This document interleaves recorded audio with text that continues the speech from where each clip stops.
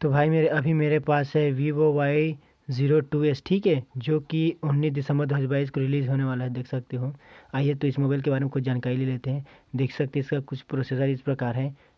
MediaTek Helio P thirty five three G B RAM है, आठ mega pixel real camera है, पाँच mega pixel front camera है, पाँच हज़ार एम एच का बैटरी है, जो कि दस वाट चार्जिंग होगा six point fifty one inches का डिस्प्ले है।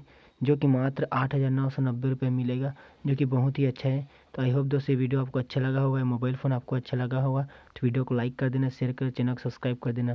केवल उन्नीस दिसंबर को, उन्नीस दिसंबर को ये रिलीज़ होने वाला है ये mobile phone Vivo Y zero two S